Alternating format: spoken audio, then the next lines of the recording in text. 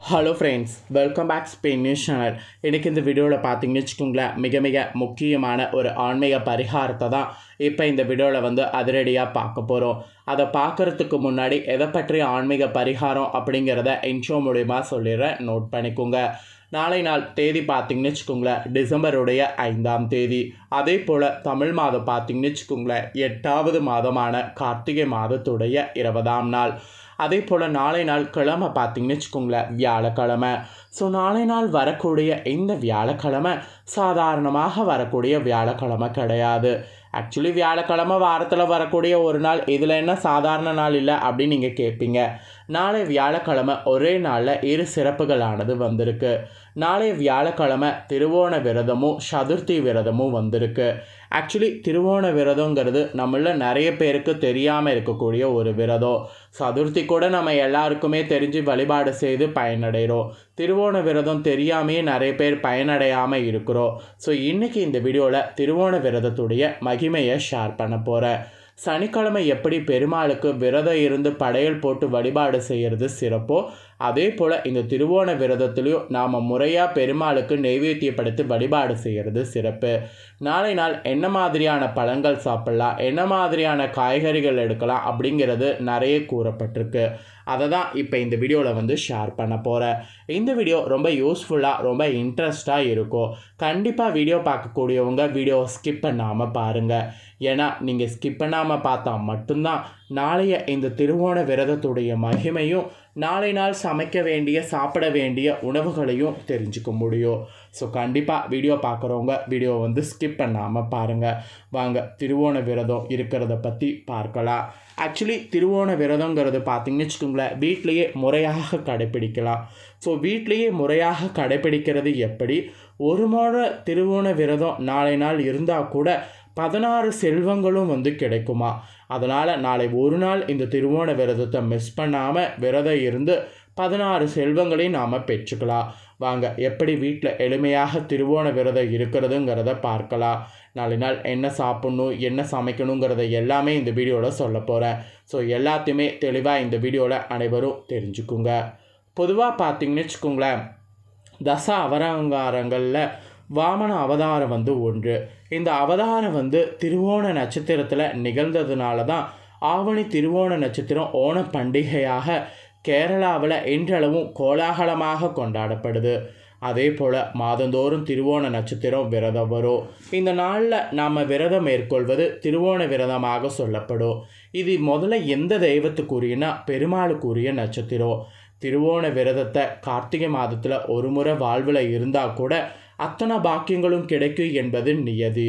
அத்தகைய திருவோண விரதத்தை எப்படி முறையாக மேற்கொள்வது என்பதை தான் இந்த வீடியோவில் வந்து உங்களுக்கு சொல்லித்தரப்போகிறேன் கண்டிப்பாக பார்த்தீங்கன்னு வச்சுக்கோங்களேன் இந்த வீடியோவை ஸ்கிப் பண்ணாமல் பாருங்கள் ஸோ எப்படி விரதம் இருக்கணும் அப்படிங்கிறத தெளிவாக இந்த வீடியோவில் வந்து தெரிஞ்சுக்குங்க.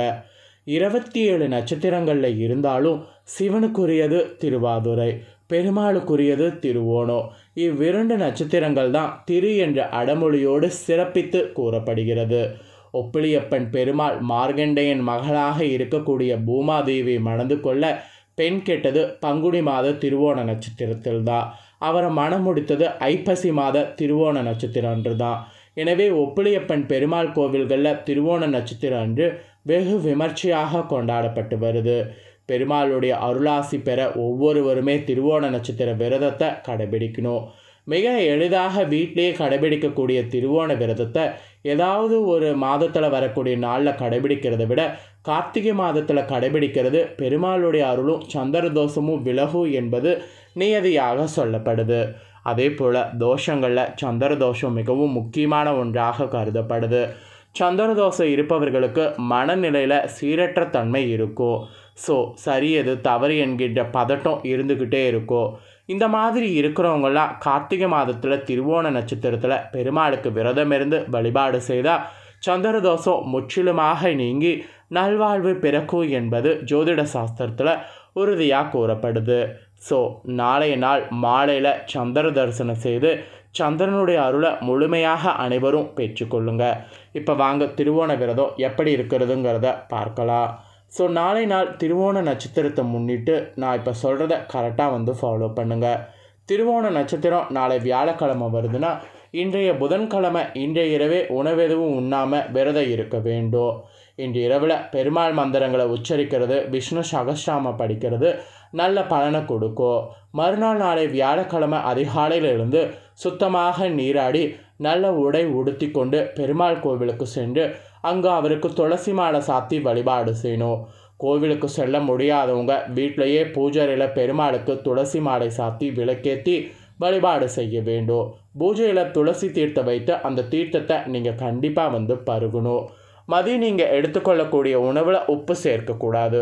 உப்பு சேர்க்காத உணவை சாப்பிட்டால் ஒப்பிலியப்பன் பெருமாளுடைய அருளாசி பரிபூர்ணமாக கிடைக்கும் என்பது நம்பிக்கை. உப்பு சேர்க்காம உணவு தாராளமாக எடுத்துக்கொள்ளுங்கள் அதன் பிறகு மாலையில் பார்த்தீங்கன்னு வச்சுக்கோங்களேன் நெய் விளக்கேற்றி பெருமாளுக்கு மந்திரங்களை உச்சரித்து பூஜை செய்யுங்க.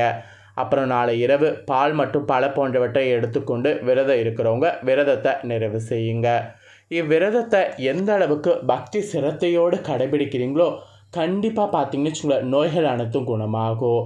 மேலும் இதை செய்கிறதுனால செல்வம் அத்தனையும் பெருகும். மாலையில் வழிபாடு நீங்கள் பெருமாளுக்கு செய்து முடிக்கிறதுனால பாவங்கள் அனைத்தும் நீங்கும். இறுதியாக பார்த்தீங்கன்னு வச்சுக்கோங்களேன் முக்தி பெரு கிடைக்கும் இது சாஸ்திரத்திலே கூறப்படுது. இந்த திருவோண விரதத்தை முறையாக நான் சொன்னது போல் கடைபிடித்தால் ஏழு ஏழு பிறவிக்கும் பதினாறு செல்வங்களும் பார்த்தீங்கன்னு வச்சுக்கோங்களேன் அடைய முடியும். அதனால் கண்டிப்பாக நாளை நாள் இந்த மாதிரி வழிபாடு செய்யாமல் மட்டும் இருக்காதீங்க. பொதுவாக நமக்கு தெரிந்த அளவு சத்தான உணவு சாப்பிடுவது ரொம்ப முக்கியம். அடிப்படை பொருட்களை பார்த்து அவை எல்லாமே அந்தந்த கிரகங்களுக்குரிய தானியங்களாகவே இருக்குது உணவு என்பது நாம் தினமும் சாப்பிடுவது இயல்பான ஒன்று கிடையாது. நாம் அது எந்த அளவுக்கு சத்தான உணவு சாப்பிட்றோம் அப்படிங்கிறத பொறுத்து தான் நமக்கு உடலில் வந்து நல்ல தேக ஆரோக்கியம் இருக்குது அதன்படி நாளை வியாழக்கிழமை இந்த திருவோண வர நாளில் அன்னைக்கு நாம் பார்த்திங்கன்னு வச்சுக்கோங்களேன் இந்த மாதிரியான உணவுகள் வந்து எடுத்துக்கொள்ளணும் என்று சொல்லப்படுது. ஸோ நாளைய நாள் என்ன உணவுகள் எடுத்துக்கொள்ளணும் அப்படிங்கிறத ஷேர் பண்ணுறேன் அதை தெளிவாக நோட் பண்ணிக்கோங்க. நாளை நாள் வியாழக்கிழமை பார்த்தீங்கன்னு வச்சுக்கோங்களேன் திருவோண விரத நாள் வந்து குரு பகவானுக்கு உரிய நாளில் வருது. ஸோ குரு பகவான் வந்து குருங்கிற அந்த அந்தஸ்து வந்து பெருமாளுக்கும் வந்து இருக்குது ஸோ குரு ப்ளஸ் பெருமாளுக்கு உகந்த நவதானியங்களை தான் நாளை நாள் உணவாக சமைக்கணும் எடுத்துக்கணும். அப்படி பார்க்கும்போது என்னென்ன நாளை நாள் சாப்பிட்ணுங்கிறத சொல்கிறேன் நோட் பண்ணிக்கோங்க. காலையில் எந்திரிச்சதுலேருந்தே என்ன சாப்பிட்ணுங்கிறத சொல்கிறேன் நோட் பண்ணிக்கோங்க. காலையில் நாலு நாள் பால் காஃபி குடிக்கிறதுக்கு பதிலாக சுக்கு காஃபி குடிக்கலாம் அல்லது கஷாயம் குடிக்கலாம். ஆக்சுவலி டெய்லி காஃபி குடிக்கிறதே உடல்நலக்கு கேடு. இந்த கேடுலேருந்து தப்பிப்பதற்கு நாளை வியாழக்கிழமை இந்த திருவோண விரதத்தை முன்னிட்டு சுக்கு காப்பி இல்லைனா கஷாயம் வந்து எடுத்துக்கொள்ளுங்க. அப்புறம் நாளை நாள் சூப் கண்டிப்பாக குடிக்கலாம். அது உடலுக்கு நல்லது. இப்போ கிளைமேட் வேறு ரொம்ப சில்லுன்னு இருக்குது என்ன சூப் எடுத்துக்கலாம்னா கார்ன் சூப் எடுத்துக்கலாம். அப்புறம் நாளை நாள் மதிய சமையலுக்கு வந்து கடலை பருப்பு வைத்து ஒரு கூட்டு கடலை பருப்பு வைத்து வடை அந்த வடையில் தயிர் வடை இந்த மாதிரி வந்து கடலை பருப்பு வைத்து எல்லாமே நாளை நாள் பண்ணலாம். நாளை நாள் கடலை பருப்பு தான் மெயின் டிஷ்ஷே அதை வைத்து தான் நீங்கள் நாளை நாள் உணவு சமைக்கணும் சாப்பிட்ணும். அப்புறம் கொண்டக்கடலை சுண்டலை நாளை நாள் எடுத்துக்கொள்ளலாம் அதுக்கப்புறம் பல வகைகளில் வந்து சாத்துக்குடி மாம்பழ ஜூஸு இந்த மாதிரிலாம் வந்து எடுத்துக்கொள்ளலாம் காலையில் வந்து நாம் என்ன சாப்பிட்லான்னா பொங்கல் இந்த மாதிரி வந்து எடுத்துக்கொள்ளலாம் இல்லை இந்த மாதிரிலாம் எங்களுக்கு செய்கிறதுக்கு எதுவும் டைம் இல்லை அப்படிங்கிறவங்க எலுமிச்சப்பழ சாதம் மாதுளை முந்திரி திராட்சை பேரிச்சம் கலந்த தயிர் சாதம் இந்த மாதிரி வந்து வெரைட்டி ரைஸும் செஞ்சு சாப்பிட்லாம் நாளை நாள் இந்த மாதிரி தாங்க உணவுகளை நாம் எடுத்துக்கொள்ளணும். உணவும் நம்மளுக்கு மருந்து தான் உணவு எடுத்துக்கிறதுல கண்டிப்பாக சில விதிமுறைகளை ஃபாலோ பண்ணும். அதனால தான் இந்த வீடியோவில் நாளை நாள் என்ன உணவு எடுத்துக்கணும் சமைக்கணும் அப்படிங்கிறத தெளிவாக ஷேர் பண்ணேன் ஷேர் பண்ண இதை வந்து கண்டிப்பாக அனைவரும் தெரிஞ்சிருப்பீங்க. ஸோ தெரிஞ்சதுக்கேற்ப நாளை நாள் செய்து பயன்பெறுவீங்கன்னு சொல்லி நான் நம்புகிறேன் இந்த முக்கியமான தாள்களை நீங்கள் பார்த்தது போல் உங்கள் ஃப்ரெண்ட்ஸ் ஃபேமிலியில் இருக்கிறவங்களும் பார்த்து அவங்களும் பயனடையணும்னு நினச்சிங்கன்னா வீடியோ லைக் பண்ணி ஷேர் பண்ணுங்கள் உங்கள் ஃப்ரெண்ட்ஸ் ஃபேமிலியில் இருக்கிறவங்களும் பார்க்கட்டும்.